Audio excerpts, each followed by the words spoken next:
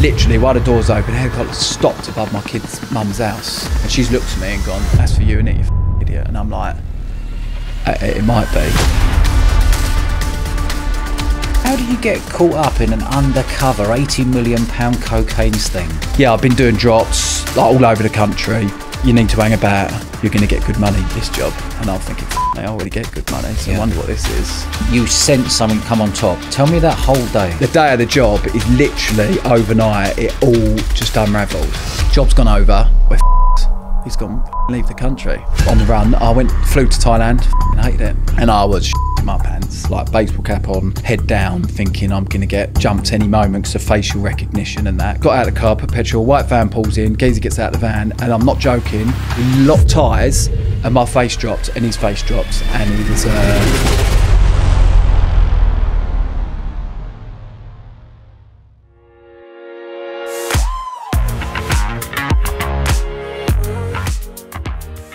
Frankie, welcome to the show, mate. Cheers, Dodge. Thanks for having me. Yep, very much looking forward to this one. It's an interesting one. Yeah, Some story you got, mate. yeah, a little bit. It is, isn't it? Um, let's roll all the way back. Where did you grow up, and how did you get caught up in an undercover 80 million pound cocaine sting? Oh, do you know what? I was brought up in a little town, Epping, which is in Essex. Lovely town, loads of money in that area. And uh, not where I lived. I was in a little council house down a little council house street. It's uh, they probably in that street. Everyone probably owns their houses now, but it was uh, down the bottom of our road, like a social club, and a football pitch where the local football team played. That I dreamt of playing for, and then I played for them when I was like fourteen. Who? Lindsey Street. It was like Sunday Okay. League. Yeah, yeah. But you know, when Yeah, you run down as a kid, you think one day I'm going to play for them. So yeah, and uh, so weekends, like my dad would take us down the social club. and We'd just be at home, one of six kids, like three bed house. But yeah, it was. Do you know what the council houses years ago that were built with the bigger gardens Mm. and the rooms are bigger? Not like now, everything's tiny. But yeah, just a nice little town in Epping. One of six, but four brothers fucked around at school, messed about. So you know, ended up being a bit of a. We were we were pretty wild because down the end of our road was farmers' fields and forests, far as you could see. So we were like, not wild as in like misbehaving wild, but just like free spirit kids sort of thing. Me and my brothers. I'm closer with. I've got an older brother, and then two brothers who are the same age, and uh, yeah, just started going out and Epping, and then started going on a night out. And I don't drink. I have a glass of wine or something now and again. I don't drink. Never done gear or anything like that. So someone would ask one of like well-known, not well-known brothers, but it's a small town, Epping, really small. And they'd say, you know, do you know anyone can get anything? And I knew somebody from that world, and mm. it's just snowballs like that. I just, you know, a couple of mates get them a couple of wraps or things like that, mm. and then you, you know, you start when someone asks something, you can quickly get it, and then people think, hold on a minute, mm. and then the people I'm getting it off are like, oh, this bloke's getting a little bit busier, and then they, you know, you get a few tests or whatever, you know, be here this time, and I'm always there at that time. And what sort of age were you when you started this started happening? Do you know what? I probably maybe late teens, and then but I had this, my son when I was really young. How So- old? How old were you? Yeah, so I I sort of knocked it all on the head, late teens. It's only a couple of years I was doing that, and then uh, my son. So I was twenty when my son was born, and then you know I started scaffolding, so you, you got to get a proper job, and uh, once like so I'm travelling into London on the train, and then having to like we've got a house. My kid's mum at the time she had a flat before I met her, and then that deposit paid for a deposit for the house that we lived in. And then you know you got to grab up and pay bills, and I was thinking, fuck, I'm on apprentice wages, hmm. paying bills, and it just you know just think something's got to give. And I remember still to this day, blue striped Tesco food coming out of Tesco's, fucking trolley full. you everyone's looking at you. Do you know you think, oh man, everyone's looking at my trolley like blue striped food. I know you shouldn't think like that, Yeah. but that's what I thought. And I remember walking out thinking, fuck this, I'm not doing this no more. And then I literally made a couple of phone calls, and then I started doing it again. And then within, I reckon, within from that time six months, maybe a year, maybe no. So my daughter, so my daughter was born, so she's one. Yeah, maybe a couple of years doing it for myself, and then you just get the phone call. Do you fancy this job? So how long were you scaffolding for and gone straight straight and narrow? So I was scaffolding from the age of 20 and I got arrested at 25. Okay. So I was scaffolding for like four years. Yeah. I didn't even give it a good shot because if I, you know, if I stayed in scaffolding and I become a scaffolder, which I am now, Yeah. well, got just got back to, and uh, you would have been earning uh, money enough to to. To Pay the uh, bills, pay live the a nice bills, good and have a- lifestyle. Yeah, yeah. yeah. no, and were you finding you finding that four year period you like 60, 80 pound a day, hundred pound a day? fucking so hard. Yeah. Dodge so hard. Yeah. Do you know you're like you you you're you're walking through the train station like pushing people through the things you've got to squeeze through. Yeah. And all the lads used to take the piss out of me saying, Oh putty sandwiches. I used to have like we we paid our bills, you know, I'd me and the kids' mum were like passing ships. I'd come home, she'd go work. And then uh, I remember running. Do you remember Benjy's in London? It was an old-fashioned coffee shop, and Mm. I used to go and get um, all the sugar and just fucking neck the sugar just to get a bit of energy because I just started this job and it's so physical. But it suited my personality because it's physical. The, like all the lads having a laugh and a joke. You're outdoors, Yeah. so it wasn't as if like I'm living on the streets, Mm. fucking struggling. But it was just hard. but just trying to make ends meet. And in the back of your mind, thinking, "Hold on, I was serving up a little bit of gear earlier. I could do a couple of errands here and there Well, and get the same money that I was doing working five hours, twelve hours a day. Yeah. five days, twelve hours a day. So it was scaffolding, and then it was listen, you know, I'll earn a couple of hundred quid on the side, Yeah. and then that'd be all right because that'd just keep, you know, keep me above water, Yeah. get some food shopping and things like that, and then uh, it just snowballs, doesn't it? What was the point where you were like, "Hold on a minute, I can't carry on doing this. I'm grafting hard, getting up at seven in the morning, Yeah, working my nuts off all that, day, yeah. getting home knackered, not seeing my wife, not really seeing my kid." Mm. What was the point where you think, "Hold on, I could actually earn a lot more money by serving up a little bit?" And what normally happens, as we all know, you serve up a little bit, your mate asks for one G's, he comes Yeah. back, his mate wants three G's. Yeah, before you know it, you've got, Emery, yeah. you, before you know it, you've got a quarter in for someone. Before you know it, before you know it, you're thinking, "I could actually replace my job here by doing this." Yeah, it got to that point. Okay. it And got how to long- that point okay. where I was earning. So that took me a year. Got Yeah. to that point where I'm thinking, right, I'm earning that out of scaffolding, I'm earning exactly the same out of it. But the thing is, I was I was getting home from work, running them errands sort of thing, and then getting home still in my scaffold clothes, going to bed and getting up in the morning. Because I suppose it's greedy. Mm. I could have maybe chucked one in or whatever, but I was still my money was going up a little bit with scaffolding. But you know, you're talking 20 years ago. Yeah. So like when people say 60 pound a day and all that, that that weren't bad 20 years ago. But now you couldn't even fucking get a McDonald's on Mm. Yeah, that, could you? yeah, yeah. But How old are you today? 39, 39. Okay. Yeah. And you got you got nicked when you were 26. 25. I got 25. nicks. Okay. So you were scaffolding for four years. When was the point when you're going, I'm going to knock the scaffolding in, uh, knock it on the Yeah. head now, and actually go down the cocaine route and actually earn more money for less hours? Yeah. So my me and my kids' mum split up, and it was uh you know nothing, nothing bad happened on either side. Just fucking had enough of each other. You know, Yeah. too much pressure.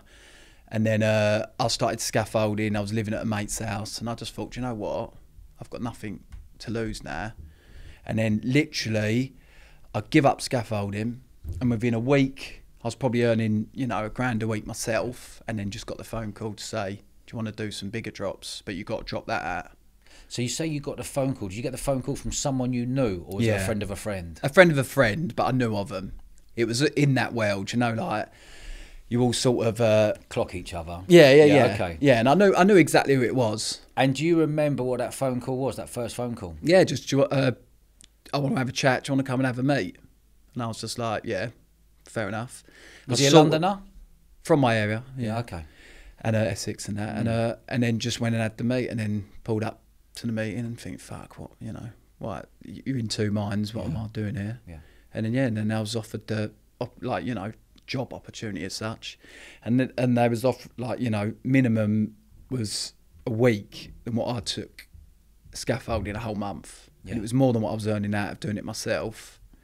And it was a little bit like, not like a job, it sounds fucking silly, but it was a little bit like, we'll tell you what to do and you get your wages at the end of the week instead of doing it myself, Yeah. going pubs. Because I used to, I never really went out, didn't go pubbing. Mm. So you weren't? Were you? Were you using yourself? No. So no booze, no no, No, I don't, I don't drink. I, I drink don't agree with me. Okay. I went out partying when we were younger, Yeah. like lads drinking, but that I think that was before. So before having my kids in, you know 17, 18, and then when I was I was literally knocked going out on the head when I when I got with my kids' mums. But I was only drinking then anyway, and you know all my me and my brothers are in the pubs Yeah. in Epping, and one of my, my oldest brother, I always knew I could drive through Epping and pop in a Yeah, pub okay. and he'd be in so there. you were bang on the. It, it, it, take away getting nicked and whatever. You were bang on the ball. You weren't using. You weren't. Didn't have your mind all over the gaff. You had a straight mind to go. I know what I'm doing. Right yeah, it wasn't now." a conscious decision. Yeah. Like I'm right. I'm, I'm not going to drink. I'm not going to do this. Yeah. It's just I think it was. my character suited that. Yeah. Do you know what I mean? At the time, What did he offer you in that first meeting? Just said, "Do you want to do? Do you want to do a delivery job? Do you want to do more uh, big like bigger drops?" And it'd be really good money. And I've, And what did he offer you? How much? It was it was at the drop? start. Yeah, it's not at the drop. It was at the start. It was Okay. like uh, I give you like a couple of grand a week, Yeah. and then from there, depending what you do and where you go. And I wasn't, you know, I didn't ask questions. I just said fucking yes straight away because we we had no money. My family had no Yeah. money as kids, and when someone offers you that amount of money. And it's, I think the insecurity, I'd done absolutely shit at school. And I think even now, all this time later, I was looking for a job recently, but we'll get to that. And uh, still, that insecurity is there. Like, the- you know, I ain't going to be able to do a, a decent, proper job. And uh, and uh, the scaffolding, I thought, quite it's hard work. And then uh, he offered me that. He offered me the job. You know, you'll be driving every day. So you were driving every day. You're, ta- you're taking packet packages around, Yeah. dropping off, picking up, dropping off, or just dropping off. dropping off, picking money up, and then dropping off. Okay. and then dropped off. Uh, but I had to dro- I had to get rid of my my my sort of what are they called fucking line people call them now, didn't they? But I had to get rid of my my bit. I just you know Get rid of your what? my phone that I, Right, that I built up. I just got rid of it. Okay. Were you driving around in your motor? Yeah, it was, uh, I you used to hire cars. Were you changing number plates and different drops, or did No, you no, get, or just- did you get complacent? Of No, I hired a car Yeah. from uh, like a car hiring place. What was it called? The, the biggest one, Enterprise. Yeah. And I'll just ring them up every couple of weeks when I swap a car. Yeah. Okay. which is funny because uh, later on I, I I dropped a phone down a fucking uh, drain outside when all this shit happened, not having a clue. The police went back and um, interviewed a car hire place because my one of the car hires was used in this, and uh, they said, "Oh, we thought he was. We watched him drop a phone down the drain. fucking good criminal, I haven't I? all on camera. But when, no. Mum, when you weren't going to hire cars, it doesn't really matter if you're hiring cars. or Not. Were you whacking it in your name? this is the thing. You can't. People think like you're going to get a car, change the number plate, do this. If you if you don't look like a straight goer, you're going to get pulled over all the time. Mm. Yeah. that's what I that's what I was told. But your told. but were your cars you're hiring in your name? Yeah Yeah. yeah. I picked him up with my driving license, and a friend of mine. I give him cash who didn't have a clue. I just said I was working for cash. Give him cash, and he bought them on like he hired them on his credit card. Poor, Yeah. f- he got fucking raided off the back of it as Right. well. Okay. We'll get really to that. nice bloke. Yeah, yeah. Okay. So what was that? How long were you doing that for then? A year. A year. So I was doing it for myself like four years. Yeah. I dabbled a little bit when. I was younger, and it sort of gave me that little, oh, this might be. And I ain't slagging no one off, but then they're not brain surgeons. These people. Mm. Like I'm looking up to people driving Lamborghinis and Ferraris and Range Rovers, thinking, oh, I could do that. Yeah. You know, that, why can't I do that if he can? Subconsciously, probably thinking that. And then, you know, I, I, I don't, I wasn't surrounded by criminals Mm. as a kid, and there was no, in my family, like a, a lot of these people get involved in crime. It's probably following the footsteps of their, Yeah. like Lewis, you've had on here, following the footsteps of their dad. Mine wasn't like that. It was all glamorized in my head from the films, and it was just purely money Yeah. purely that I, do you know, you just I do not want to be fucking skint anymore. And how long did you? How long were you doing it for? The bigger drops. Uh, and it- yeah, the bigger drops. And did you know what the bigger drops were, or were you just Nah. given the packages? Were you just go, yeah, take that to A to B with, pick, yeah, pick that up from there, drop it off and there. drop the money? And you and you knew these packages were getting bigger and bigger as time went on. Well, they was always in bags and things. And this job, I, I knew it was serious because there was just a bit more seriousness around it, and it was, you know, you need to hang about. You're going to get good money this job, and I'm thinking, fuck me, I already get good money, so Yeah. I wonder what this is. And I, kn- I knew it was big. Like this, I'm not sitting here like playing Mister. I didn't know what I was doing. I knew what I was doing. yeah. I knew what I was involved in. But like a lot of people would say, you know, what are you doing it for? Like later on in, in the story, but it's you know they, they, you get in with these people and then you're making loads of money and you, you're in like a closed circle. You think you are. and you think you, you are. You think you're in a closed circle. and you think you're living a Yeah. life that no one else li- Yeah, lives. yeah, you're in a bubble. Yeah. And I was literally, I, I, I- I'd have my mates from school, Mm. and then I'd have my little mates, uh, a bloke that I, because I never dealt, I could have walked past a top bloke and not even known in Epping or whatever. So I dealt with one bloke. Mm. He give me my drops for the day, and then I went and picked it up. And is that the same bloke you first met who made No, that no, phone no, call to? no. He passed you to someone else. Yeah. I don't know how it works, but it's all. I, I learned a hell of a lot more in prison talking to everyone and um, looking at my paperwork. There's just a hierarchy. Yeah. You know, everyone's a buffer, isn't they? And how long? I want. I'm interested in this 12 month period. You're dropping off, earning a pound Yeah, note, couple of yeah. Mm. grand here, a couple of grand here, every every couple of days or whatever it was. And Yeah. it got bigger and bigger the packages. What was the point when you knew it was all come on top? The actual job. Just uh, did, were you sensing? Were you sensing something? Did any paranoia kick in to go? Someone follow me. No, I was I've been- told. I was told by by somebody. my phone's been bugged or my car's been. No, I was told by somebody in it, in that in in that little world that this job, this like this job ain't right. What Something this big stinks, job? This yeah. big job. Okay. And I was like, you know, you just think, well, at the time, this is my job and I'm getting paid for it, so I'm gonna I'm gonna do it. But I was just told that there's something ain't right, and I didn't listen. Who, to, who told you something went right? Someone close to you Yeah, who knew these people? and gave you the Not not up? family close, but Yeah. someone I've known for a long time. Okay. give me the heads up. Giving you what? Do you remember his words? This stinks. Just completely. Stay away from it. This stinks. Wow. And I sort of looked and said like, I can't. Yeah. It's like you telling me it, Yeah. but I work for you. Yeah. And imagine me coming back to you and saying, oh, I'm not doing. You can't tell them people I'm not doing this. They've organised it, but I don't know how long these things take. Yeah. And you turn around and say, I don't fancy it today. Mm. Let's say, Are you fucking kidding me? You, you know, you get sacked with a black eye. Yeah. Did your gut feeling ever sense anything? No, but when so the day of the job is literally overnight, it all just unravelled. The day of the, so yeah, I've been doing drops like all over the country, Give me example. Everything Give me example fine. of some drops around the country, from where to where. down south, Yeah. like deep down south, all the way up to Northampton, Birmingham. Yeah. so big, big. Uh, So when you were area. when you were driving, did any paranoia kick in at all? If I get pulled over now, I'm I'm Do you know what? I don't know whether it's me being, I don't know, thick. They, uh, I treated it as a job. I was very cool. One side, the, the most stupidest thing, I, I, so I used to go all the way deep, deep down the south of England, Whereabouts? like past Plymouth and all Okay, that. yeah. And uh, I would uh, fill my car up, stop at a petrol garage that I knew on the way that didn't have cameras, an old fashioned one where the old bloke comes out, Yeah. and then that would get me back. Night before, I've gone and got McDonald's. I can't remember exactly what it was. I either went out with my mates or picked my kids up one night because I wasn't living with my kids. Went and got McDonald's, done something else. I fucking broke down and I could see the motorway. Do you know, you're thinking, shit, I'm going to run out of petrol. And I'm shit myself, shit. And I've looked, looking, it wasn't a motorway, it was an A road. So it might have been one, of- is the A39 or something down that way?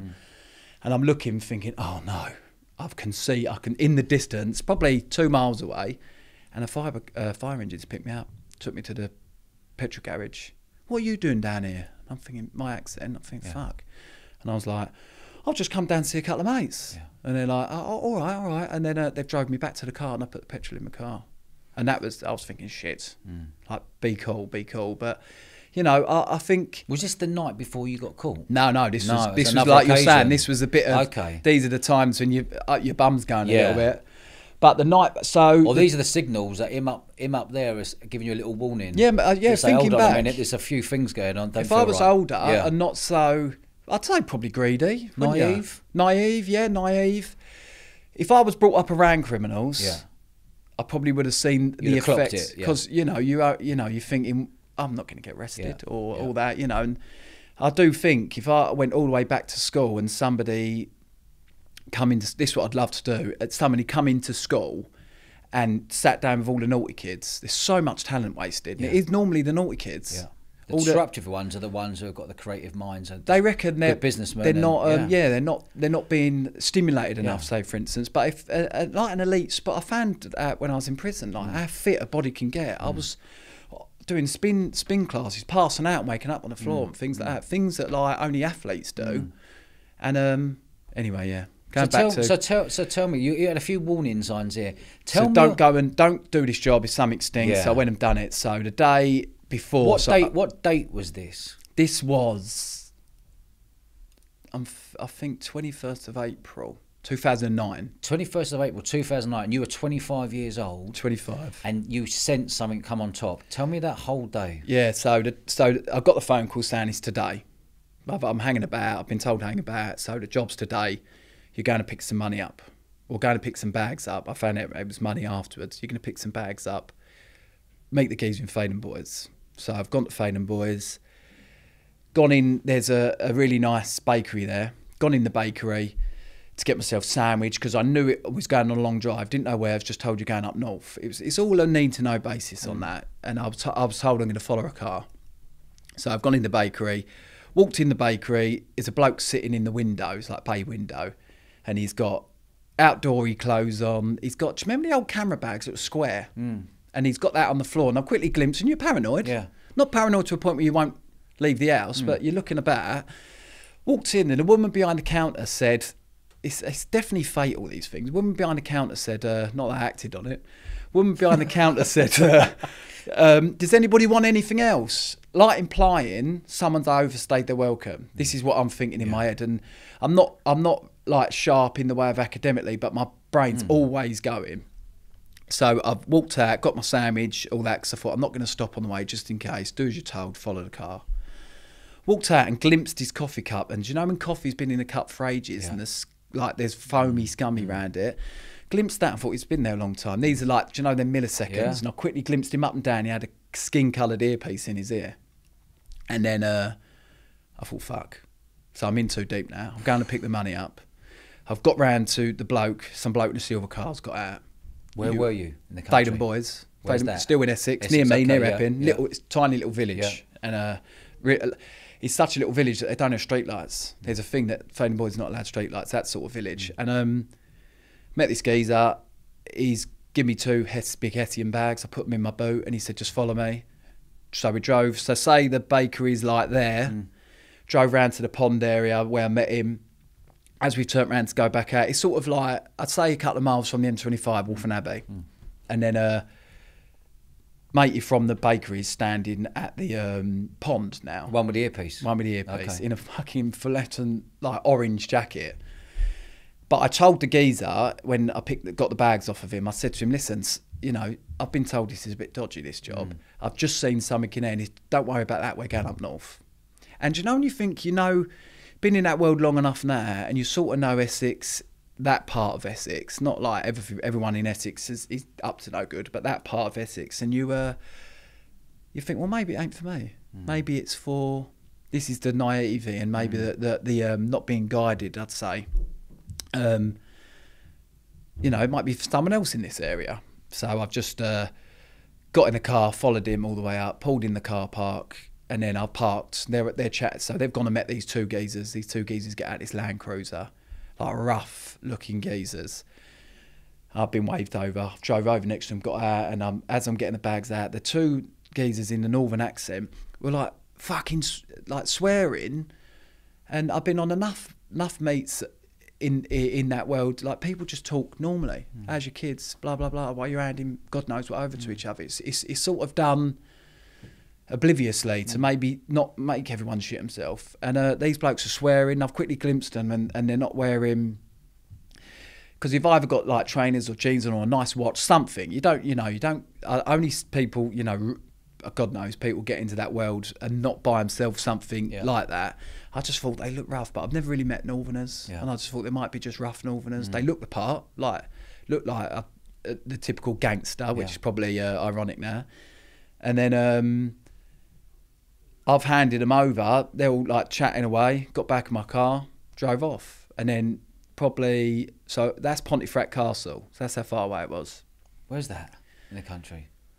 So it was above Leeds. Okay. So I've gone So all the trek. way. Yeah, it was, Yeah, it was a okay. good, good few hours. Yeah, yeah. So coming back, uh, I've looked and thought I'd get some petrol. So pulled in to this petrol garage in Leeds. Did you, when you handed over, did you take a load of dough as well? No. No, nothing. Handed Just over handed over the bags. gear. Well, it wasn't gear, so I've handed over bags, which were, I found out later, it was 328 grand. It was a part deposit. so they've got to give them a little bit of money uh, because you no one's just going to hand you over fucking loads of gear. So it was a little part deposit to say like keep your half of the bargain. So you keep- were driving from Essex up to Leeds with three hundred twenty-eight thousand pound in your car, and you didn't know what you're carrying. I th- no, I, I- I knew it weren't gear, and I, I, had a, I had a rough idea it was money because of the way the job was. No, if I'm ever dropping gear off, you just drop that off. But I was mm. just told, you know, this is a bit. It just had a bit more uh, seriousness around it. This job, and it was a bit of a bigger job. Mm. Didn't sort of realise that how big, mm. but I knew how lot. You know, by the cars people drive and all that. Do you know, you think there's big money in it. You, if you didn't know what was in it, did, did you open the bag to have a little look? No, was no, it no. Zipped up? Was it what was it? A sports bag? Two was Hessian- Hessian inside so two Hessian shopping bags, Yeah. with beer cans in them. On the top. beer can, just beer can boxes in them. So what's happened is they've opened the beer can boxes, took the beer out, put all the money in, and put um, in the Closed it back up again. Close it back up and put four cans of beer in. Because when I used to do it, it'd be hidden in things like shopping. Because if you get a random pull, they go through your boot. glimpse and then carry on. And Yeah. then it's Yeah, yeah, shopping. yeah. But if you're getting properly pulled over, it doesn't matter if it's fucking, I don't know, up your ass. It doesn't matter. They're going to find it. yeah, yeah. So it was just a random sort of thing. So yeah, I've just uh, two Hessian bags with beers in. And uh, this is, I've seen my paperwork, the photographs for it. The uh, beer can and all the money was stashed in four four beer can boxes. wow. Look, yeah, so you so you dropped off. You thought nothing of it. You had a little- Another- you had another gut feeling. You're thinking, oh, Yeah. there was a couple of Yeah. I've been told it's a bit of a dodgy job. yeah. I've seen that thing in Theydon Bois, but do you know what? You, this Did you sounds- drive this sounds back naive and go? I'm okay. Well, no. So uh, another thing, so Sam, just quickly get Sam, Yeah. being naive. You sort of look up to these people. So when they tell you gospel, no, it's not for us. You think, well, it ain't for us. They're they're organised at their company. They know what they're doing. Yeah. And then um, pulled in the petrol station. So we're coming back from Pontefract Castle in Leeds. Pulled in the petrol station, and then uh, pulled over. Bloke's pulled in behind me. The silver car bloke. I followed up there. And he said, are you doing?" I said, "I'm just going to get some petrol because I don't know when the next petrol station is." And I'd like, I think just under half a tank. And I thought, if I fill up, I can get home. He's gone, "All right, I'm going to get a drink." And um, got out of the car, put petrol. White van pulls in. Geezer gets out of the van, and I'm not joking. Dodge, uh, not as close as we are, but we locked eyes, and my face dropped, and his face dropped, and he was uh, the bloke from Theydon Bois. It was the undercover officer from Theydon Bois in that calf. And I, I, I, honest to God, I would lay anything down and it was him. And uh, I've looked at him and he's looked at me and I was like, fuck. So I've gone running in a petrol station quickly and said, that's the geezer from the calf earlier. And the bloke's gone, fucking get away from me. And I'm, you know, when you're flapping around, I'm flapping around the shop, like picking up a drink, putting it back. So I thought, what do I do? So I went into the toilet and um, I've gone into the toilet and I've sat in the toilet and thought, I'll just sit in here. Because I didn't, not knowing anything about that world, I thought I was getting arrested then maybe. Yeah. I don't know. Yeah. And as I've gone in the toilet, I thought, right, hold on, the petrol station's here. We've drove in, and the toilet's there, and there's a window. So I thought, oh, I'd stand on the toilet, and there's a little toilet window, and I could see the exit going out. Only to know that quick, like geographical thing that you hmm. get, you think, hold on a minute. Looked out, and I could see the exit. So I watched Silver Car gone. I watched the van gone. I thought, right, pressure off. And they, I don't know what that is, but I just thought, oh, I'm, I'm all right now gone and paid my petrol, got in the car, drove back, got back to my flat or, or where I was staying, and rung the bloke that I normally talk to. Told him blah blah blah, and the fucker said, you, "I think you're imagining it." I was like, Mate. but even then, I was just like, "All right, fair enough." And uh, you know, you, you, I, I was in, I was in too deep to step out. There's no way in a million years I could have said, oh, "I don't want to do this no more, lads," because they'd be like, "Are you, are you kidding me?" And realizing what I got nicked for, like they was fucking right up the right up the chain. Really, it weren't just like local drug dealers what they were doing. I knew, I knew it wasn't 'cause how far I was driving sometimes, but um, yeah, and then yeah, a couple of days passed, and then a really weird thing happened when I I used to get my kids on a Wednesday. So I think that happened. So the Wednesday after that happening, I took my daughter to a place called High Beach, and it's not a beach; it's like a forest there, a really ancient forest, and uh, everyone goes there when it's sunny, park their car and have barbecues in, in the back of their vans or anyway. And uh, took my I still remember it now. took my son and daughter there because I had, had a daughter as well with the with the same woman, and um, she was like one, and the sun was set. I still remember it. The sun was setting. It was really nice. They were playing with each other like nicely as brothers sisters do, not fighting. And I was sitting on a log, and my daughter come over, and I was crying. I still remember it, and she said, um, "What's the matter, Daddy?" Um, my son was a little bit older, so he would have sort of clocked it. I said, "Oh, I've got a bit of hay fever," and she went, "All right," and just walked off because I knew then I fucked up from that from that day before. I just knew, and then a Wednesday after. So this marries up with my paperwork, but I don't know. I don't know whether this is true or not. But the Wednesday after, I've got my kids. I used to have them weekends and a Wednesday night, just take them for dinner. I'll take in the summer. It'd be nice. You could take them for an ice cream and that. And then uh, I was coming home from Harlow to Waltham Abbey. I was living in Harlow and Waltham Abbey, and that is probably 15 miles. I don't know, don't know exact, but hmm. it's say a 20 minute drive, maybe a bit longer. I'm driving, and I'm driving around. And I've looked, and I'm like, fuck. And I thought, is that an helicopter up there? And I was a little bit, and it was a couple of weeks after that job happened. And in my head, if you do a crime, you get arrested straight away. Yeah. That's how I think I used to think. So I'm thinking I got away with it, and I'm thinking, oh, there's an helicopter up there. And I thought, oh, it ain't for me carried on driving and uh, I'm still looking. I think, right, I'm still behind me and I'm in Epping now. I think, right, fair enough. I thought, I'm, I, you know, I've never flown in a helicopter, but I'm sure they're fucking faster than that. I'm in traffic. carried on, carried on. I'm asking my son, which sounds scummy really. I'm asking my son, Louis, look out the back window. Is that helicopter still there? And he's like, yeah, daddy. And I'm thinking, shit. Cause, and then I've got into Waltham Abbey, Upshire Way, which is near Waltham Abbey. It sort of dips down into the forest. And the helicopter disappeared. And I thought, ah, weren't for me got to the kid's mum's house, but not knowing, so it dips down. The helicopter must have been behind the forest. I found out since in prison, helicopter can watch you from like three miles away. Yeah, yeah, yeah. Pulled up to a little cul-de-sac, pulled up to my kid's house, got the kids out, got them in um, in their house, and said goodbye. Literally, while the doors open, helicopter stopped above my kid's mum's house, and she's looked at me and gone, "That's for you, innit, you fucking idiot." And I'm like, "Uh, "It might be," and she's like, "What?" I'm like, "It might be." I, I like something's happened. I didn't tell her that I fucked up recently. I just said something's happened. And um, so, yeah, so she said that. And as she said that, four or five police cars shut the um, cul-de-sac off. All jumped out, and I'm thinking, "Fuck, I'm not getting arrested, beaten up, whatever in front of my kids. So I've stepped down their steps and gone, everything all right? And I'm slowly walking towards them, but I'm not like trying to look aggressive. I don't know, this is all subconscious. And they're sort of shouting at each other.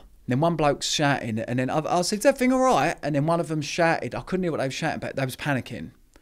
And the bloke's going, "Oh, no reason, no reason. Um, have you seen someone covered in blood?" Like he was making it up on the spot. And I was like, uh, "No, no, we haven't." And uh, he's gone, "Oh, all right then, all right." And then they've got in their cars and drove off. And then the hel- helicopters took off. Looked in my paperwork years later, a Wednesday night about seven o'clock, which is the time we used to drop the kids off um, someone's gone to pick the drugs up. So the money I've dropped off, somebody's gone to pick the drugs up, and that um, that night, that that time when somebody's gone to pick the drugs up, they've called it off. Somebody said that something ain't right and called it off, and it was a Wednesday night about seven, and it's roughly it was roughly around the time I dropped the kids off. I don't know pinpoint, but I thought, you know, maybe that was my time. Old Bill were gonna nick me because I was still in that same car and that's that's when I went to the uh, went to the um, next day. I went to the car people. I said I want to swap cars because that after that helicopter thing, I thought, nah, this you know, if I swap cars, I might get nicked. Well, I? Fucking idiot. And then that's when uh, the police went to the to the um, car hiring place Enterprise and said, uh, oh yeah, we thought it was a bit weird. He fucking dropped the phone down and. So you accidentally dropped the phone down there when No, you changed I, car? no. So I changed car. Yeah. And the phone that I used for that job that I was using, like you'd swap phones all the time. All the time you'd swap phones. One time went in into a phone shop with a geezer, like it was not on the payroll, but he knew, and I come out of a bin bag of like mobile phones. Yeah. Imagine, you know, imagine seeing that. Yeah. And uh and I got rid of the phone down down the drain, and they see see me do it myself. So they clocked you throwing the phone down the drain. And Enterprise and then they car told the people. old Bill. When the old Bill went there, Yeah. because I got arrested in a hired car from a friend. A friend of mine hired a car for me. I gave him the cash, and he got fucking. Well, I get to that. He got raided and all that shit. And um, yeah. So they said, yeah, that we thought that was a bit suspicious. So the week went past. You done the drop, three hundred twenty-eight Yeah. grand. The weird helicopter things Yeah, happened. but the free the guy who you followed up there in the silver four x four. Hmm. When you Uh, just a silver a silver, sil- yeah, silver, silver, car. motor. You followed up there, and when you parked- when you parked up to fill up the petrol, you went. You said to the geezer in the silver Yeah. car. You said that was the geezer earlier with the hmm. earpiece on. Hmm. He didn't react kindly to you, did he? No, Who just, was he? He was just a bloke. I don't know. He was a bloke who I think called it all on. I don't know who it was. So he called it on just to make sure the money did get dropped. Yeah. But he didn't want to do it himself. He got you to do it. Yeah, so I think I limited the risk of him getting pulled over, but because that's what I thought. I thought if he's going the same place, surely he'd take the money. So who knows? But he was like, "Get away from me." wasn't He didn't. He wasn't like in a way of like "fuck off." He was like, "Right, get away from me," Yeah, okay. sort of thing. Like, and then uh, yeah. So then, and then you come back down. You thought the helicopter was after you. Well, I, I found this out years later reading my paperwork. Yeah. I thought, "Oh fuck, that helicopter was probably for me because that's a similar night." But then Did you do any other drops after you got the paranoia kick in? Did you do any other No. drops after? Did you go right? I've got to stop. I did. I did one thing and picked some money up from a bloke. you know how much? I think it was like 20, 30 grand I picked up from a bloke because he was at a certain place and he couldn't leave it, and I, I was sort of near. And then, but it was all. It was sort of a small place. I don't know whether it was a week or two weeks, Mm. and then someone went to pick the drug up the second time, and that's when the fucking shit hit the fan. So tell me the day So, the, when the sh- when the when the shit hit the fan. so the drugs the second time somebody's gone to pick up the drugs. Whereabouts were they? Uh, um, Leicester, Leicester way. Okay. and supposedly all these phones turned on in this car park in a because you know people say um, oh don't take don't take your personal phone with you and all that but my barrister told me like they'll just say you've used a, a pay as you go Yeah. like well, like what the fuck? So they reckon all these phones got turned on in a car park in um, Northampton or somewhere like that all at the same time. And they reckon the phone two phones were hitting the mast, the phone mast, at exactly the same speed driving up the motorway. So they were saying that these two phones were next to each other in the car. So things like that is just through the cell sighting. And then uh, the police, and then some bloke's gone to pick the van up. Someone picked a car key up. They didn't know who that was. A bloke with a hat on, baseball cap on.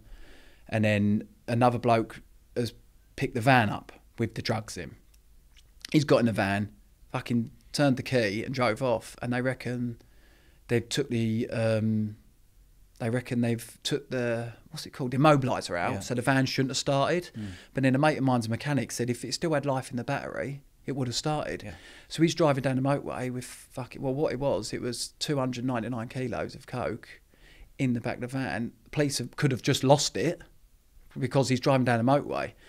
So this is I've read in the paperwork. Uh, the armed police have pulled the van over and jackknifed the lorry to, to, to not jackknife the lorry, like pulled the lorry, told him to pull over to block the motorway.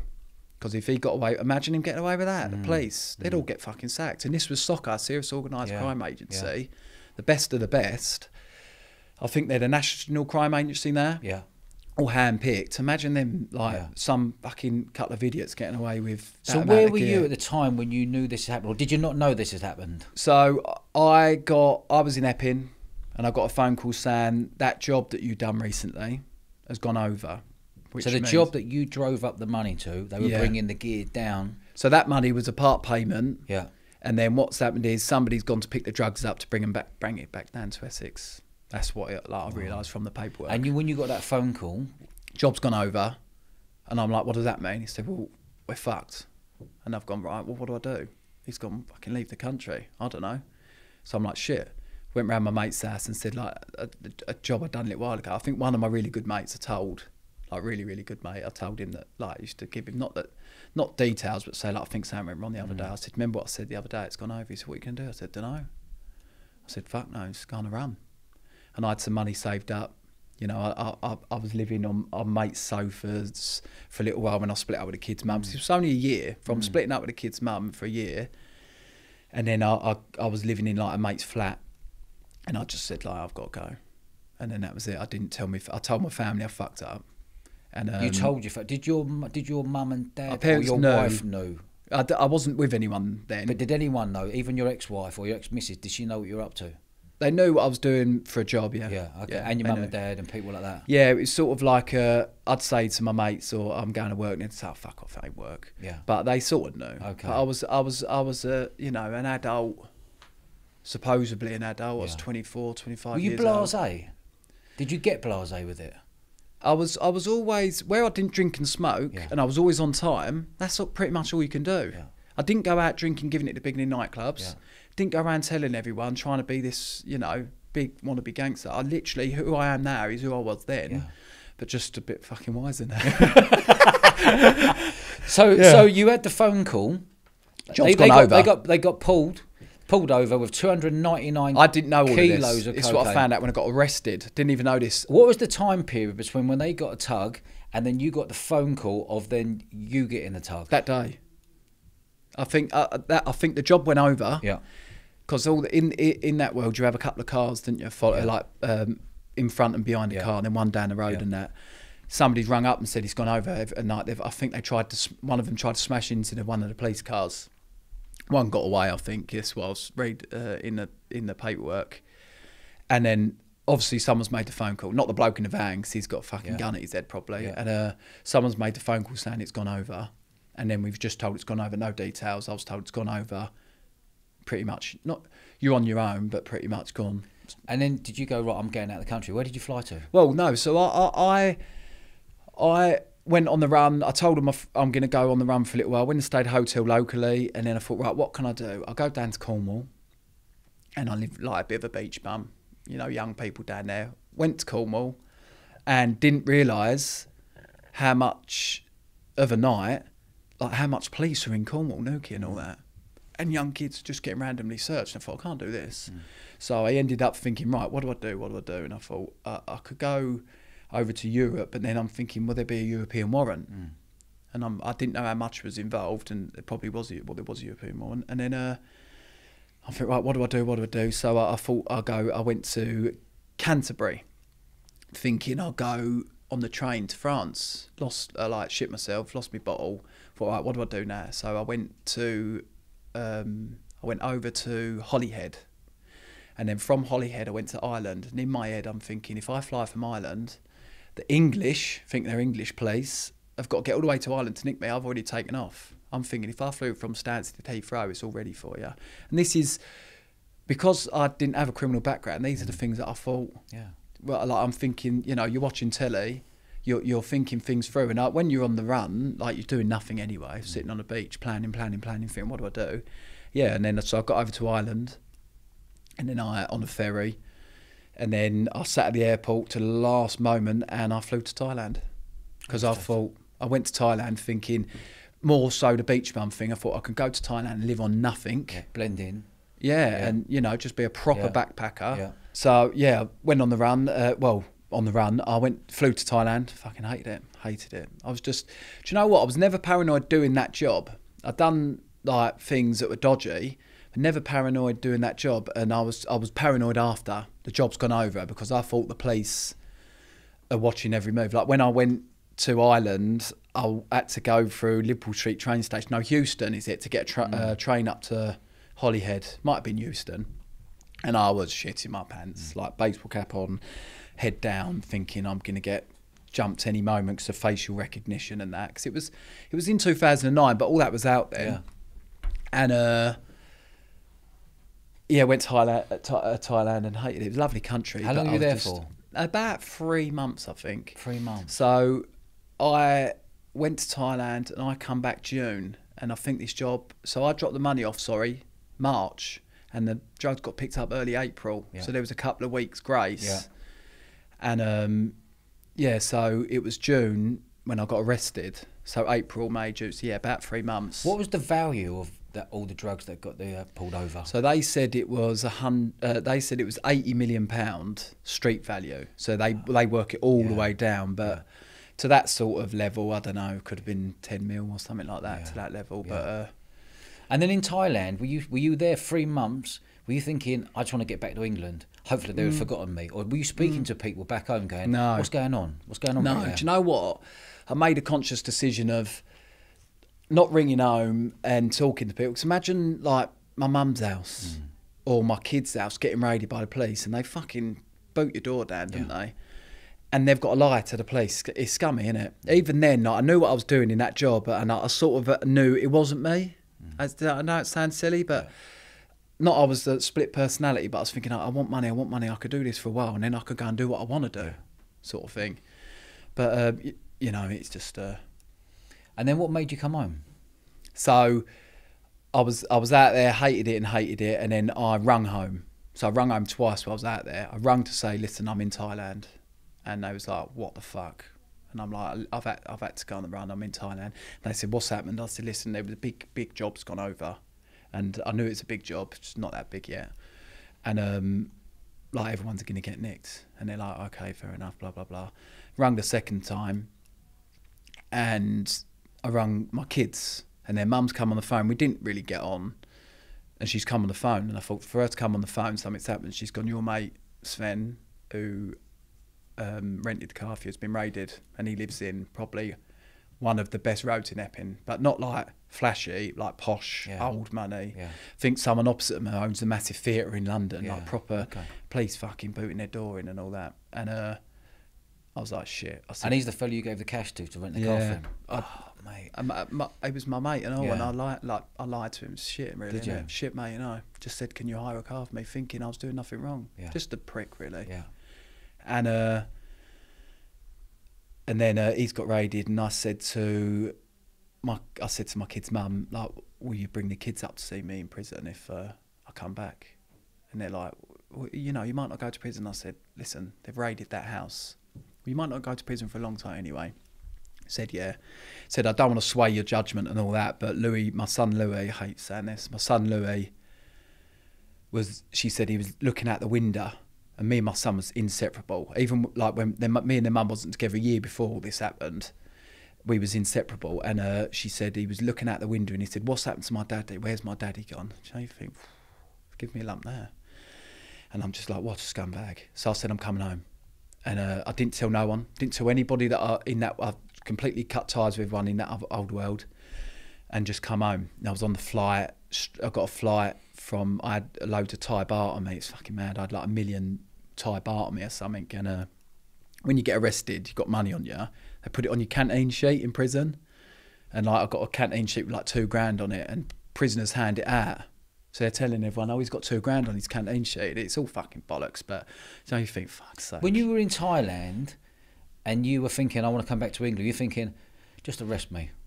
When I, I land did. back, were you thinking, just arrest me because I can't carry on like this? So I, d- I did think like that. I was just thinking, I was on the aeroplane. There was always a glimmer of hope, thinking, you know, I might not get arrested. Or stupidity. It's not hope, I don't think. It's stupidity. Hope's a nice word, isn't it? Not getting arrested ain't. So I'm thinking, I might not get arrested, but I might get arrested. Uh, you know, nothing bad might happen. Just didn't really, uh, probably didn't think about it. I'm quite good at not not thinking about things and getting on with you know I was I kept my cool with that bloody fire engine thing and other things I've done just kept my cool just treated it all like a job never panic and then um yeah so I was coming back on the airplane. There's a woman next to me and there's a little a young Australian lad like my age. I'm telling him where to go go and watch Wimbledon 'cause it's coming up and all that. And um woman next to me chatting away just nice. And everyone it was a long flight because I remember we didn't stop off.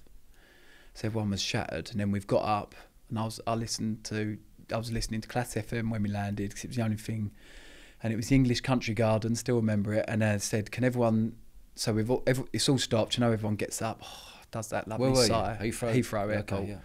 and um they said, uh, "Can everyone get back down? Uh, sit back down, please, for health and safety reasons." Oh, can everybody sit back down in their own seats for health and safety reasons? And I thought, two two minds again, and thinking, "Oh, this is it." And then I thought, well, might not be. But I've been on enough flights. I, I know I sound like a fucking idiot, don't I? But mm. there's always that. Oh, it might not be. Sat back down in our own seats, and the blokes go, "Oh, what is it? Oh, I don't know." I've looked up, and two armed police have come on the aeroplane, but they're airport police, mm. and then two like well dressed people afterwards, and they're talking to the air hostess, and they're pointing over to my bit, and I'm like, "Oh, oh, it is me." I think, "Oh, fuck, it is me," and they've come walking down the aisle, and I think, "Yeah, it's definitely me, definitely me," and they've literally the airport police have stopped there and said, "Are you Frank Stedman?" I said, "Yeah, I am," and they're like, "You're nicked," and I'm thinking inside, "Yeah, no shit." Yeah. And I've stood up, thinking, right, let's go. And the one behind's like, get back in your fucking seat. And I'm like, what? My, my bag's up there. Shit myself. Do you know you're thinking, I've, I've just shit myself. I hope no one smells it. These poor Australian geese, it's like fat. And, and, and, and there's women and there's people screaming on the airplane now. Yeah. And I'm like, whoa, whoa. And the SOCA agents put their hand, uh, put their, I don't know whether it is it military and, and police, they put their hand on his shoulder. So he lowered his gun. I just saw a hand come on his shoulder. There was a woman SOCA agent and a man SOCA agent, it, like smartly dressed. He took me off the plane, then stopped at the end of the plane, and then handcuffed me, and then stood me there and walked everyone past me. And they sa- said, "Just wait here a minute." And I'm looking at the floor, thinking, "Oh God, Well, You know, coming back from Thailand, God knows what people think. Yeah. I've smuggled a fucking ladyboy back Yeah. or something. I don't know." And uh, got one in my bag, up in the top thing like that. And uh, no, my luck, it wouldn't be a ladyboy. And uh, yeah, so uh, do you know, just I'm looking at the floor now, feeling like shit, really, and thinking fuck. And then we're walking out, and I've heard them like radio through. You know, we're going to take him out the front, and I said, "I- I'm not telling you what to do, but I think my kids are out there, and my mum, because they said they was going to come pick me up. And I said, if you can, this is my flight. If you can't, I'll hang around for an hour and I'll get a thingy. And uh, I said, I'm not sure. And he's gone, nah, all right, the airport police. Wrap your coat round you, because I didn't have my coat on in the airplane. Wrap your coat round you. And I was like, and the SOCA agent said, one minute. And he called the airport police bloke into a room. The airport police come out. His fucking face is white, like it's been told off by the headmaster. He's gone, oh, we're going to take you out the side door. And I sort of looked at the SOCA bloke and give him a nod. And then later on, call me what you like. After all the interviews, like three o'clock in the morning, the SOCA agent who done that, who was interviewing me and all that, is him and a, a woman. He, uh, I said, I found out through my barrister, my kids were outside, and I shook his hand. Said thanks because that's Yeah. fucking traumatising for your kids. Yeah. Uh, imagine coming out. Yeah. What are you doing? Oh, it's my, it's my mates. Like my son was at an age where he weren't an idiot. How old was he? Five. My daughter was like one. Like my son was like sharp five year old. Yeah, I, I, from a young age, you wouldn't even have to hold his hand at a road. Mm. Yeah, no, I, I, so I uh, try and tell, like my son, he, he's educated because he, he's been through it all with me. Really, like they was uh, walking to visits and they'd know to put their. My mum used to say, oh, they go in and put their arms out and put their feet up. My daughter used to come running in and go to the like playground bit, but like this is what I try and say, like to these young lads now. Every time you turn the fucking news on, something bad's Yeah. happened. This is what really happens. It's none of that bollocks. I'm getting loads of money. I've got Range Rovers. I've got this. I've got that. You've got to get through all that shit. And imagine not going to your brother's funeral. Mm. It's um, and our family are really tight. Yeah. Well, always imagine not been. seeing your son and daughter allowed grow to up. Yeah, grow up. Yeah. So the lessons out there. Anyone listening to this, if you are getting caught up in this, what This is what point- happens. This is what happens. This is like a normal lad, scaffolder, Yeah. selling a couple of grams, couple of grams. Jack the lads, Yeah. well known in your area. Yeah. And that this is literally how easy. I'm not saying I was dragged down that path because I knew I was going. To, I, I No, you what I was made you made your own decisions. Yeah, but yeah, what I've learned learning from this is you didn't know what the consequences I'd were. no adult guidance No. in the way of like not um like my parents. My mum, I was one of six kids. My mum was the best, strongest woman you'll ever meet. Yeah. But she's bringing up six kids. Yeah.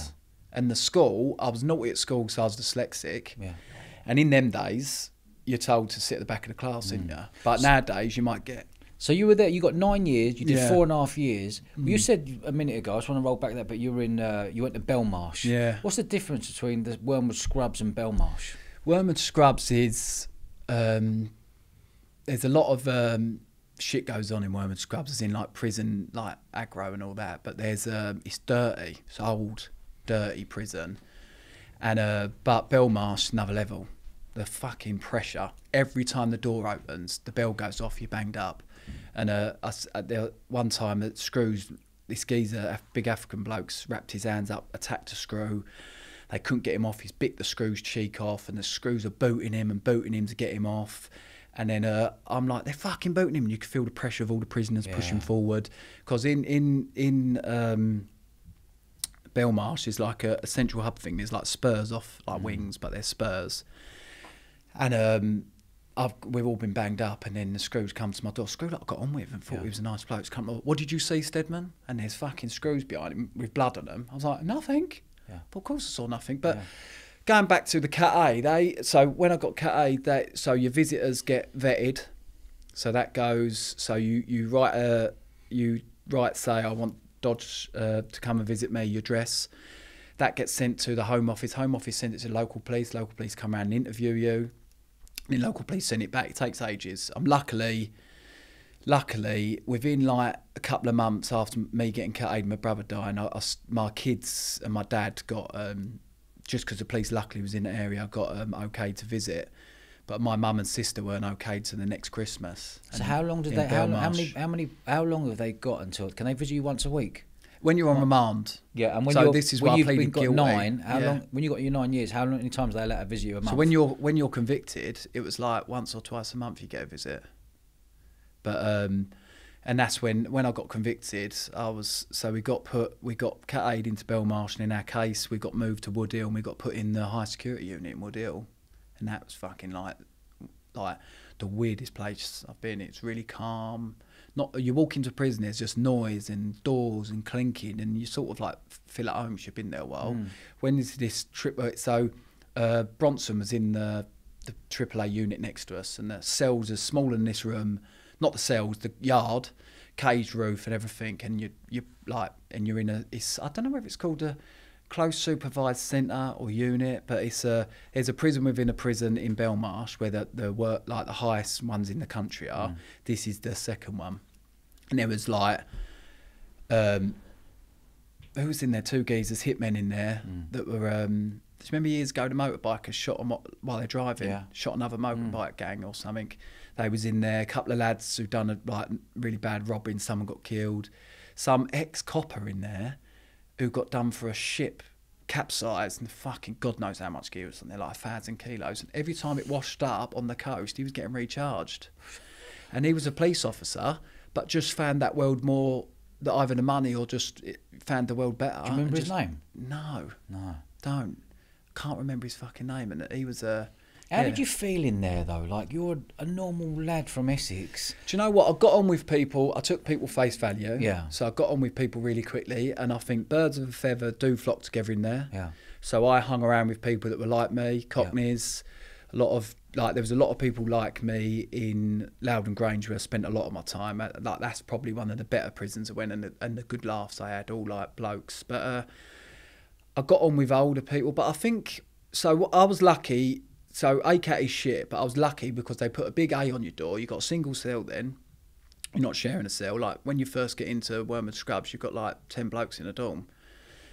So people sort of left me alone. I looked like a fucking little fanny, but people left me alone. Think, why is he ACAT? And people would ask me, when, and I'd just say because of the, you know, obviously I dropped a bag of money off in a case, and uh, in that case there's so much drugs and money involved that they're saying I've got funds to break out. But obviously with me, but with certain people that is needed in in that world, like a, a massive drug case like that.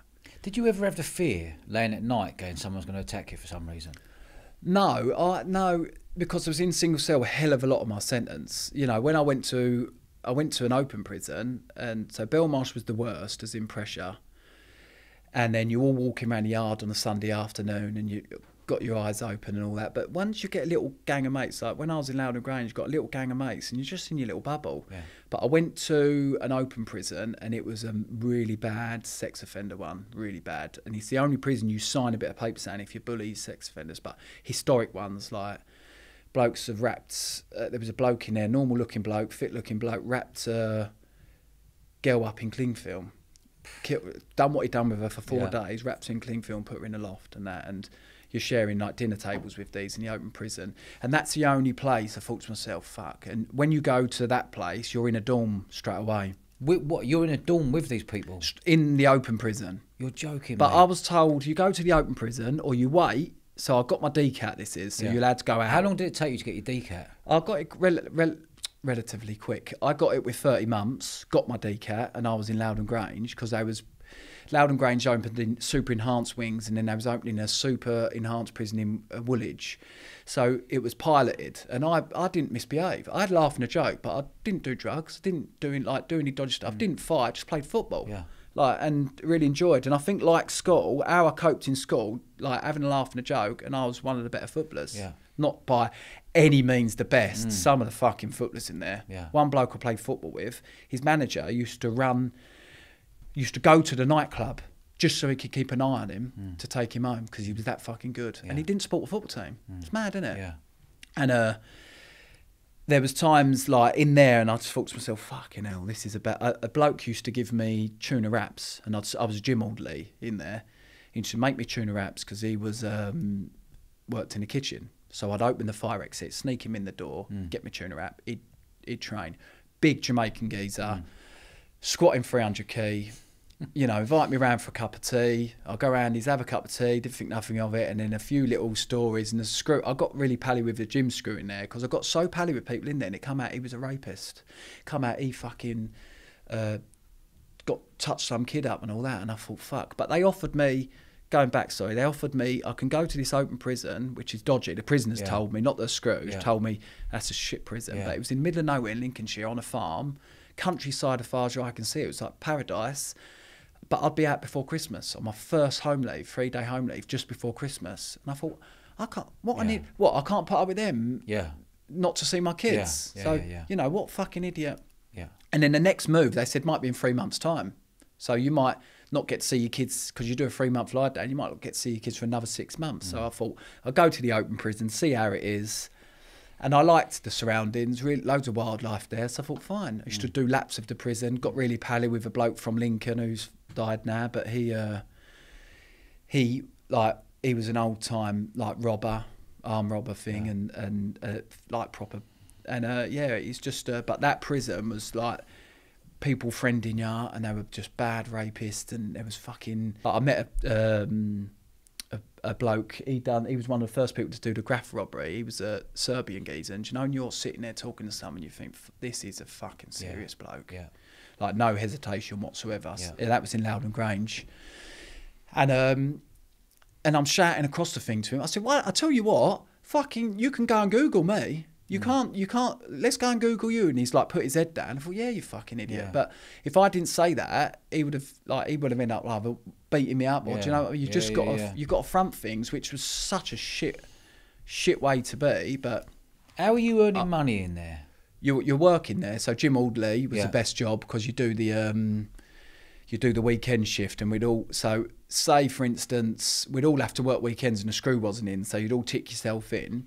But we had a little thing. One bloke go and sit there. They weren't allowed to use the weights weekend, but all Mm. the other stuff. One bloke would sit there, and it'd be your weekend. Sit there, and you tick everyone else in. So we'd earn like thirty quid.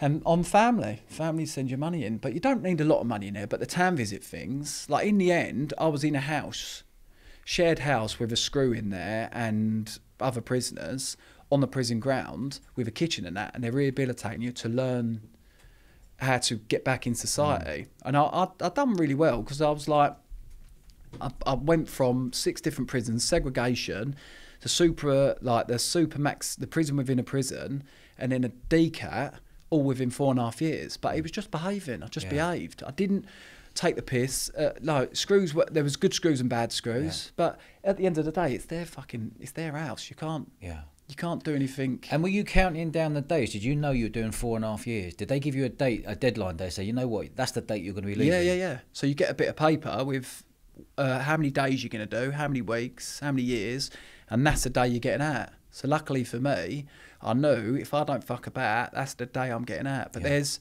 there's IPP sentences now where people don't know when they're going to get out. They get an IPP for What's an. IPP stand it's for? it's a bit of a uh, it's a it's I think it's a, an American thing. IPP. It was in oh, I don't know what it is. But it's basically saying they're not going to give you. They a give date. you they give you five years IPP. Yeah. And then after the five years, they start looking about getting you out of prison. But Right. you're you're in a BCAT. Yeah. So it's going to take you years to get to a DCAT and get out. Yeah. But yeah, it's like an indeterminate. I don't know. And what's the, when you got out? Tell me that feeling of when you. What was it? Was it the, the big day? You knew you were getting out. What was that? Feeling Yeah? I was uh, in the DCAT and I was uh, didn't really sleep, and my sister was coming to pick me up with my kids and my brother. Uh, you know, uh, you'd see it happen now and again. You think, oh, that's me soon, and uh, because I'm going out now. I was going out for a good just over a year on home leaves and things. Like I wouldn't have met my missus now if I didn't go to prison. So good things do come Mm. Yeah, out of yeah, it. I went. I was staying at a friend's house, the one who got raided. Mm. I stayed at his house when I got out, and uh, there was another guy standing there, nothing to do with prison. He was just standing there, and his girlfriend's sister is my missus now. She's turned up to see her sister, and I thought, oh, she's nice. Yeah. So yeah, there is good things do Good come things from. come You've got to yeah. look at the silver linings. But yeah, that day of actually getting out, it was like the first home leave was hard Yeah. because everyone wants a piece you. I want to see my kids, and I'm driving around all these different places. Mm. Like my, uh, who was driving me around? My mate was, I think. Come to see that one, that one, that one, and then my kids are getting ratty. That enough. And when I went back, I thought, oh man, I should have spent that with my kids. Yeah. But then the second one, I said to everyone, I'm not doing nothing. I'm spending it with my kids. Mm. but it was um, actual getting out and the release. It's it's just as scary as well. Like my mum said, uh, used to say to me, I used to go around my mum's. I was staying at a mate's house, and I'd go around my mum's and watch her telly, go in the living room, watch her telly. And then when she come home from work and all that, I'll say see you later and go back home. Mm. And she supposedly said to like my brother and sisters, like, what the fuck? He's coming around watching my telly, Yeah. then just going home. And they're like, well, he's institutionalised probably. Yeah. Probably still thinks he's in prison. And Yeah. I, I went back to scaffolding really quickly, and then uh, thought, oh, this ain't for me. Do you know when you think I've been everything I've been through? I feel like I'm going backwards. Not not thinking. You know, if I stayed at scaffolding and never went to, uh, never got involved Mm. in crime, the house that my bought with my kid's mum, I know we split up, but that that I think I looked a little while ago and it's like 380 grand. Imagine sitting in there with 300 grand in your pocket. Mm. Yeah. Like this is what I try and say to people. You think it's that that that world, no good comes from that. Well, everyone glamorises that world. Yeah. And everyone I've met have all been banged up, but left with nothing. Nothing. And everyone gets banged up.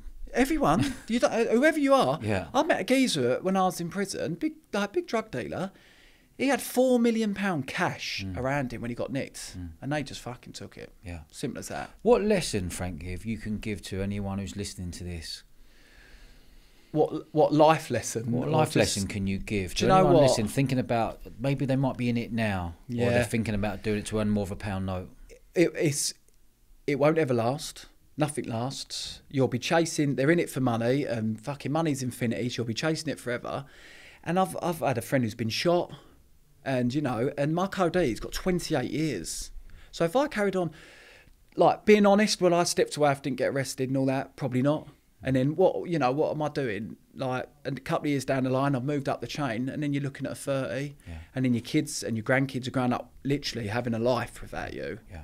but it's you know i it's hard to say because you don't know people's upbringings do you a lot of these you know some kid's brought up with criminals around him he's going to be a criminal but just uh, the shit if you if you want to not go to your brother's funeral if you want your kids to grow up without without their dad there like my daughter burnt her hand on a on a thing once and come into a prison visit what can i do nothing Yeah.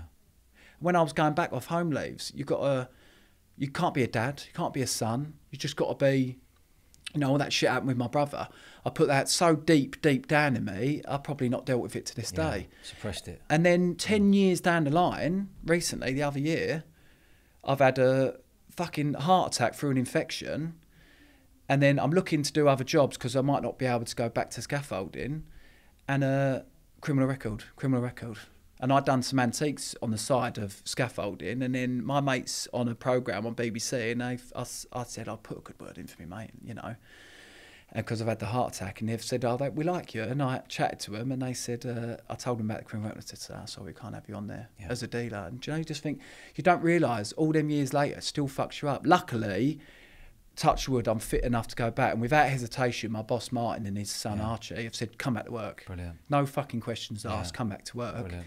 And I've been back to work a couple of weeks, doing all right. Touch wood. Yeah, good for you, mate. Do you know what's interesting is that when you're involved in this, it's not you getting banged up and getting a mm. nine on doing four and a half. It's the knock-on effect for your kids, for your mum and Family, dad, for you when you're coming out, can't Yeah. get jobs again because of that. Have you ever thought about a lot of people do change their names afterwards? Because like you said a minute ago, you go and Google, your Google, name, yeah. I've Frankie asked Google. Stedman, bang. Yeah, I've asked Google to um, take it down. They said it's in the public interest. Yeah, okay. So and your and your and your license as well. Would you ever change your surname? No, Just leave it as is. no. Yeah. I, you know, I'm doing these. I'm owning what I am. Yeah. And if someone, you know, I, I never really. Like, so when you come out of prison, you don't really like talking about it. Yeah. And then I remember sitting in hospital when I had the heart attack through an infection. I remember sitting there thinking, watching the nurses, thinking, like, man, that's a job. Mm. You can go and make as much money as you want, but now that is something. And I thought, I, I need to do something no matter what I do. I want to help people. Yeah. And then I got chatting to a mate, uh, the, the, the prison screw, Yeah. rang him up, how are you? And he's all telling him about my heart and all that, because we used to train together. Got to a point in that prison with all the sex offenders that I was training with him, and prisoners go, "Why are you training with him?" I said, "Because I know what he's in for." Yeah. I've I've had like four mates who have ended up being like God knows Yeah. anyway. Yeah. And then he said, "Why don't you start?" He knew someone who'd done podcasts. He said, "Why don't you do that?" He said, "Because you're so passionate about, Yeah. you know, this is." Luckily, I'll see it coming. The only good thing I've gone through all this shit, and I don't want no one to feel sorry for me because I put myself Yeah. there. But I will see it coming a mile off with my son, Yeah. with my daughter's boyfriend, my son's mate. I will see it coming a mile off, and I'm strong enough and can own it enough to go and tell a bloke, Yeah. stay away from my fucking son. I don't give a fuck who you are. Yeah. So you know, I'm not a fighter and all that, but I, I- I- you know, I can look a geezer in the eye and, Yeah. and tell him. Yeah. And you going back to changing the name of that? No, it is. It has made me who I am today. I regret it massively because I didn't Mm. go to my brother's funeral. I put my family for my. After my brother died, my parents come and visited me, my mum and dad, which is really rare because they've been split up for God knows how many years. And Dodge, they aged overnight. When I Mm. Mean aged, I looked at them and I was like, "Fuck me, they look like my grandparents."